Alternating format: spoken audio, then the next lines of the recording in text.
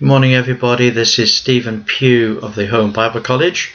It is July the 25th today, and we're looking at Psalm 65 and 66.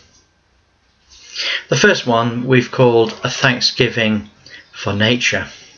We have great descriptions of what God does in nature. May I suggest that both of these Psalms are rooted in David's experience but they also have a prophetic flavour and they could easily be songs that would be sung in a coming day in the Messianic kingdom. They have that sort of a, a sense about them. Um, let's read them together. a song of David. Praise waiteth for thee, O God, in Zion, and unto thee shall the vow be performed. O thou that hearest prayer, unto thee shall all flesh come. Now we know that this has never really occurred ever in the history of the world. Um, God hears all prayer, but not all flesh has come to the Lord. But of course, in the Messianic kingdom, all flesh will turn to the Lord. So that's something that is a, is a fulfillment of prophecy for the future. Iniquities prevailed against me. and as for our transgressions, thou shalt purge them away. Blessed is the man whom thou choosest, and causest to approach unto thee, that he may dwell in thy courts. We shall be satisfied with, with the goodness of thy house, even of thy holy temple. There's going to come a day in the future when certain people in the world will be invited to actually come and dwell in the apartments that will be part of the temple.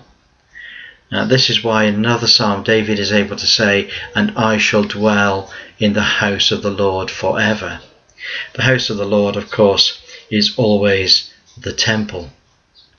Christ calls it my Father's house. Blessed is the man whom thou choosest and causest to approach unto thee, that he may dwell in thy courts we shall be satisfied with the goodness of thy house, even of thy holy temple.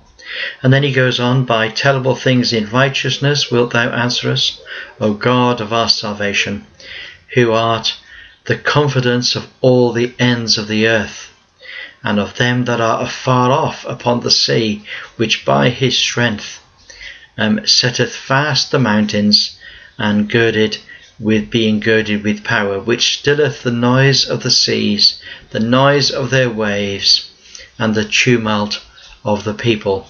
They also that dwell in the uttermost parts are afraid at thy tokens. Thou makest the outgoings of the morning and the evening to rejoice. Thou visitest the earth and waterest it. Thou greatly enriched it with the river of God, which is full of water Thou preparest them corn when thou hast so provided for it. Thou waterest the ridges thereof abundantly, thou settlest the furrows thereof, thou makest it soft with showers. Thou blessed the spring springing thereof, thou crownest the year with thy goodness, and thy paths drop fatness. They drop upon the pastures in the wilderness, and the little hills rejoice on every side. The pastures are clothed with flocks, the valleys also are covered over with corn. They shout for joy, they also sing.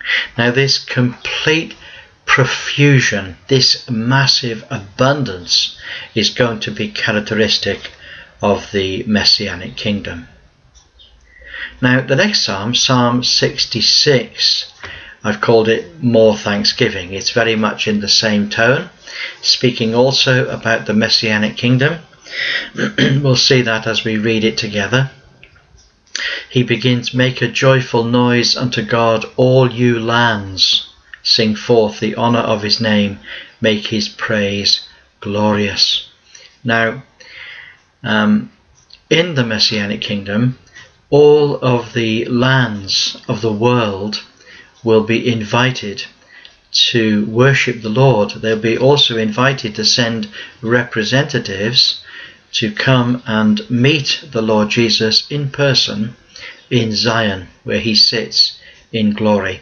But only those that are qualified will be invited to uh, meet him there, and the qualification will be righteousness. Those that are righteous will be uh, invited to be there. Verse 3 Say unto God, How terrible art thou in thy works! Through the greatness of thy power shall thine enemies submit themselves unto thee, and shall sing unto thee, they shall sing to thy name. Think of that. Come and see the works of God. He is terrible in his doings towards the children of men. He turns the sea into dry land. They went through the flood on foot. Uh, there did we rejoice in him. He ruleth in his power forever. His eyes behold the nations. Let not the rebellious exalt themselves. Think of that. Now, Christ in his glory will have his eyes upon all the nations. He will see them all. And any nations that are rebellious, they can be rebellious, but they must not seek to rebel.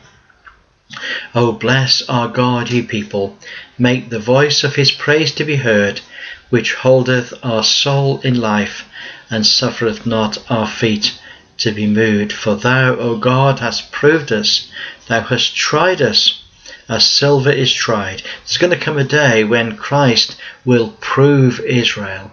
He will try them like silver in a fire, and he'll bring them through affliction, and he will purify them. Verse 10 For thou, O God, hast proved us, thou hast tried us as silver is tried. Thou broughtest us into the net Thou laidest affliction upon our loins. Thou hast caused men to ride over our heads. We went through the fire and through water, and thou broughtest into a wealthy place. I will go unto thy house with burnt offerings. I will pay thee my vows, which my lips have uttered. My mouth hath spoken when I was in trouble. You see, when Israel is in trouble, they will make promises to the Lord, they will make vows to the Lord, which the Lord will expect them to keep. And the psalmist says, I will offer unto thee burnt offerings of fatlings, with incense of rams. I will offer bullocks with goats, Selah. Come and hear, all you that fear God. I will declare what he has done for my soul. I cried unto him with my mouth and he extolled me with my tongue. Now notice verse 18 If I regard iniquity in my heart, the Lord will not hear me. But verily God hath heard me, he hath attended to the voice of my prayer. Blessed be God, which hath not turned away my prayer, nor his mercy from me. Now, in the Old Covenant in particular, um, when a person uh, turned away from the Lord, the Lord didn't just completely destroy them and cut them off. They became consciously aware that they had forsaken the Lord. Their conscience smote them, and their prayers were unheard. Their prayers were unheard. How do they know if their prayers were unheard? And how do they know if their sacrifices were unheard? Well, they knew that when God did not answer from heaven with fire upon the altar. Um, but the Lord, he says, has heard me. He has attended to the voice of my prayer. Now, this is only something that can be said by a righteous man. He says, If I regard iniquity in my heart, the Lord will not hear me. But verily, truthfully, God has heard me. He has attended to the voice of my prayer. So what, what the psalmist is saying is this. He says, I know that if there's iniquity in my heart, God will not hear me. But God has heard me. And that's because there is righteousness in my heart before the Lord. And he has attended to the voice of my prayer. Wow. What an insight this gives us, an insight into what it's like for those who were living in those days to live before their covenant God. They had to live before God with a righteous heart. They had to make sure that um, that there was no iniquity in their heart, because only then would the Lord hear them. How different to us! We live under grace. We live in a different situation altogether and God hears us in spite of our unworthiness. Well, God bless you. Great to speak to you. Look forward to catching up with you again tomorrow. Bye for now.